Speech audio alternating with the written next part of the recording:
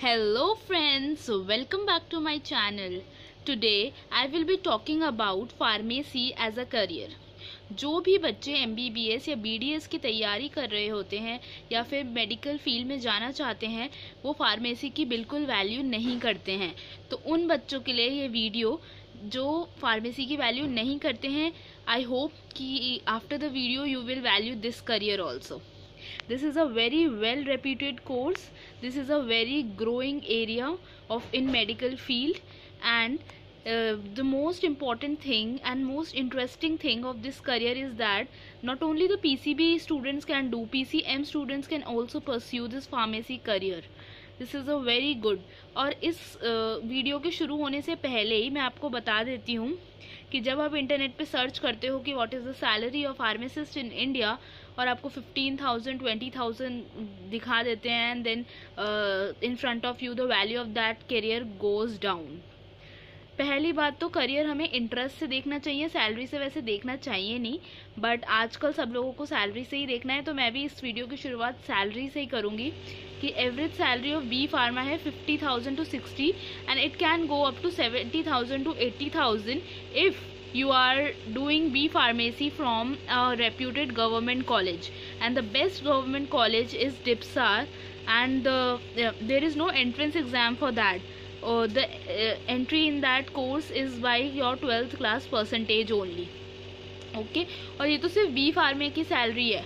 अब जब आप एम फार्मा कर लोगे और और स्पेशलाइजेशन uh, कोर्स करोगे तो then your salary will definitely increase and initial salary seventy to eighty thousand है। जब आप बी फार्मा में बहुत ज़्यादा uh, आगे बढ़ेंगे तो डेफिनेटली आपकी सैलरी इंक्रीज होगी। और अगर आप अपनी शॉप्स वगैरह खोलते हैं तो आपकी सैलरी आप पे ही डिपेंड करती है।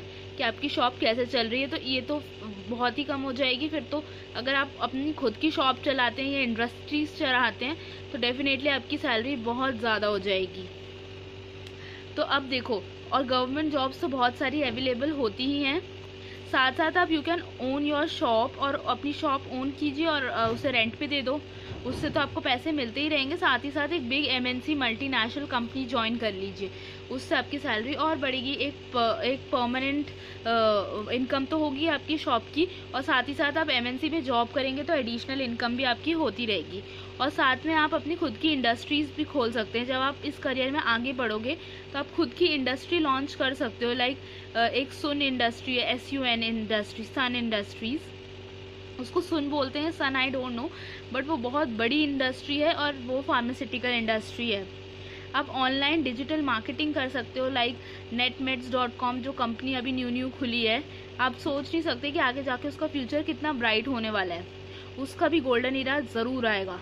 तो आपको ये नहीं सोचना कि मेडिकल फ़ील्ड में सिर्फ़ एमबीबीएस या बीडीएस ही होता है या फिर बीएचएमएस या बी नहीं, और भी बहुत सारी चीज़ें हैं।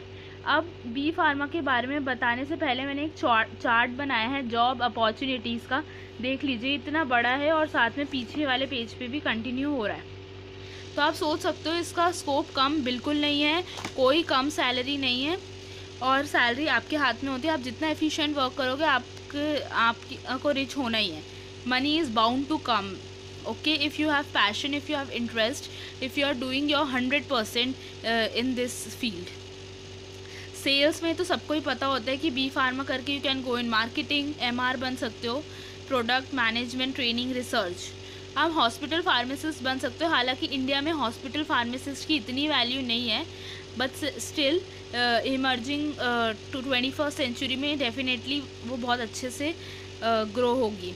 गवर्नमेंट जॉब्स हैं, ड्रग इंस्पेक्टर की, हॉस्पिटल फार्मासिस्ट की, ये H P S T Haryana का वो है। ऐसी बहुत सारी स्टेट्स के मैंने एग्ज़ाम्पल के लिए लिखा है एच पी एस सी ऐसी बहुत सारी होंगी जो आपकी स्टेट में भी होंगे। R R B railway recruitment मतलब गवर्नमेंट जॉब तो हर ग्रेजुएट के लिए होती है तो ये तो नॉर्मल गवर्नमेंट जॉब्स हैं। फिर एकेडमिक्स में you can become lecturer you can become assistant professor also सोचो। ये बहुत अच्छी जॉब होती है। अगर आपको मार्केटिंग वगैरह कहीं नहीं जाना तो you can become lecturer you can become assistant professor और competitive exam I A S I P S वो कोई भी ग्रेजुएट दे सकते हो और आप भी दे सकते हो।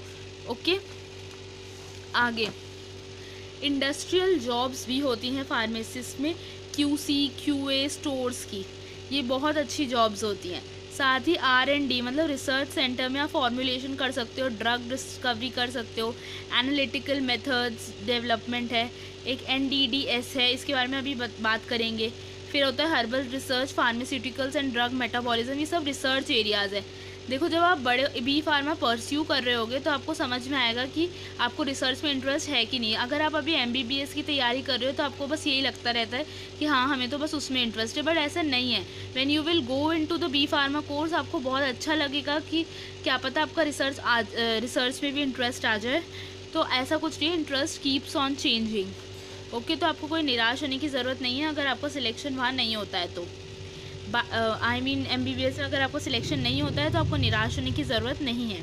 फिर आते हैं बायोटेक में। आप ये क्लास ट्वेल्थ में पढ़ते ही हो downstream processing genetic engineering बहुत इंटरेस्टिंग ब्रांचेज हैं ये। और ये फॉरेन कंट्री जो बच्चे फॉरेन कंट्रीज़ में जाना चाहते हैं, उनके लिए तो बहुत अच्छी ब्रांचेज हैं। आप जा सकते हो। और फॉरेन में तो बहुत ही ज़्यादा अच्छे होते हैं और बहुत ही ज़्यादा वैल्यूएबल कोर्सेज हैं। इंडिया में तो इतना नहीं है जेनेटिक इंजीनियरिंग वगैरह बट स्टिल आपकी फ़ॉरन कंट्रीज़ में बहुत अच्छा है। NDDS जो मैं बता रही थी new drug delivery system bright future है ये रिसर्च एरिया है कि ड्रग्स को कैसे डिलीवर करना चाहिए कि कम से कम साइड इफ़ेक्ट्स हो उसके। आ, कम से कम लोगों को दवाइयाँ लेने की ज़रूरत पड़े और जल्दी से वो ठीक हो जाए। तो इस पर रिसर्च होती है। तो अगर आप ये कोर्स करोगे तो ऑब्वियसली एम डॉक्टर का क्या काम होता है? दवाइयाँ लिखना। बट दवाइयाँ बताता कौन है? ऑब्वियसली फार्मासिस्ट बताता है। इंडिया में। फार्मासिस्ट का काम अब्रॉड में कुछ और ही होता है जो मैं अभी डिस्कस करूँगी। बट इंडिया में फार्मासिस्ट का काम ये होता है कि वो मेडिसिन बताता है। एंड मेडिसिन बताना ऑब्वियसली मेडिसिन जो बना रहा है, उसके हाथ में होता है कि, जो रिसर्च करे उसके हाथ में होता है कि वो ऐसी मेडिसिन बनाए जिससे कैंसर ठीक हो सके, जिससे एड्स ठीक हो सके। एमबीबीएस डॉक्टर थोड़ी ठीक कर रहा है। तो obviously pharmacist is making those medicine okay तो ऑब्वियसली उनका भी बहुत बड़ा योगदान होता है मेडिकल फ़ील्ड में, वो कुछ कम नहीं होते हैं। तो किसी भी कोर्स को कम समझने की कोशिश बिल्कुल मत करना। साथ में अब बी फार्मा तो आपको पता ही है जो फोर इयर्स का होता है, ये कर लिया तो आपकी इतनी सैलरी होती है बट अगर आपने स्पेशलाइजेशन कर लिया तो तो बहुत अच्छी बात है। Like M pharma specialization areas होते हैं। कितने एरियाज़ हैं? सेवनटीन एरियाज़ हैं। To name a few pharmacology biopharmaceuticals clinical pharmacy etcetera ठीक है? तो ये सारे एम फार्मा के एम फार्मा करके तो आपकी बहुत ज़्यादा वैल्यू हो जाती है और ऑब्वियसली आपको बी फार्मा के साथ एम फार्मा करना ही चाहिए। साथ साथ आप बी फार्मा के करते ही आपको लाइसेंस मिल जाएगा शॉप खोलने का। तो आप अपनी शॉप खोल सकते हो, उससे आपकी इनकम तो होती ही रहेगी। साथ में आप एम फार्मा की स्पेशलाइजेशन कोर्सेज भी कर सकते हो। या फिर बी फार्मा करने के बाद कोई कंपनी ज्वाइन कर लीजिए और साथ में एम फार्मा का कर सकते हो। अब आते हैं फार्म डी के बारे में। फार्म डी एक ऐसा कोर्स है जो बहुत बड़ा है और उसके बारे में मुझे अलग वीडियो भी बनानी पड़ सकती है।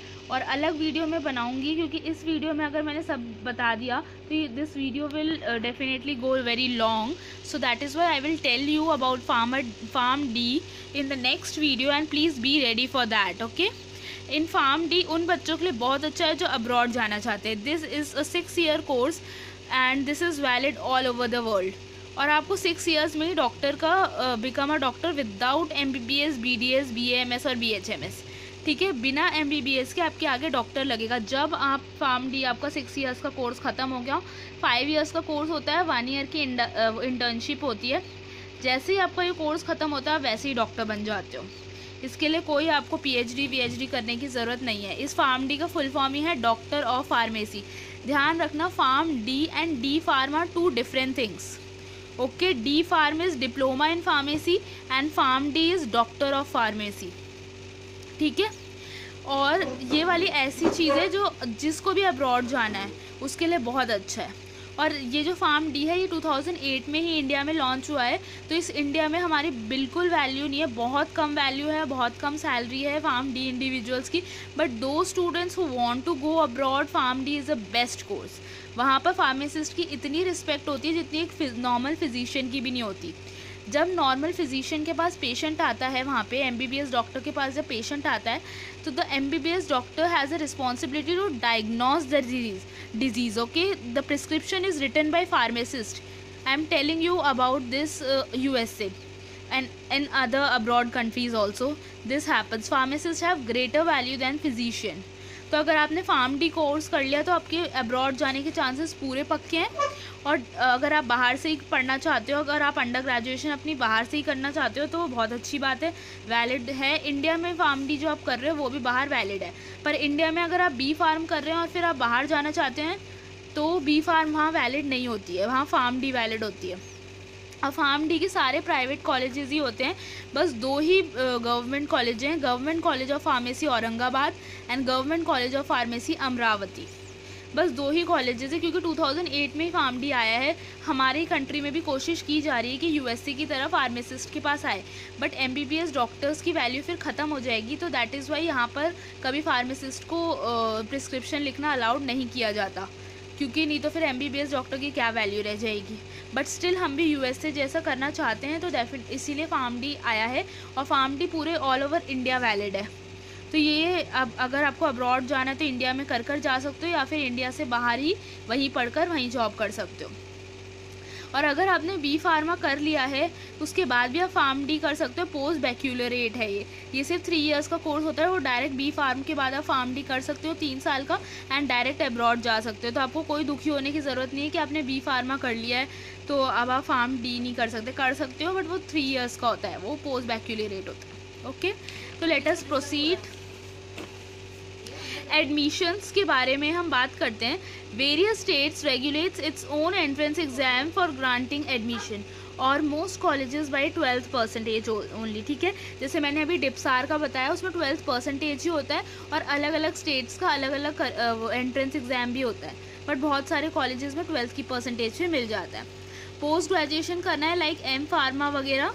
तो उसके लिए जी पैट एग्ज़ाम होता है ग्रेजुएट फार्मेसी एप्टीट्यूड टेस्ट वो आप पास कर दो, आपको पोस्ट ग्रेजुएशन में एडमिशन मिल जाएगा like M pharma these are the top colleges of B pharmacy आप इसको अच्छे से देख सकते हो वीडियो को पॉज करके।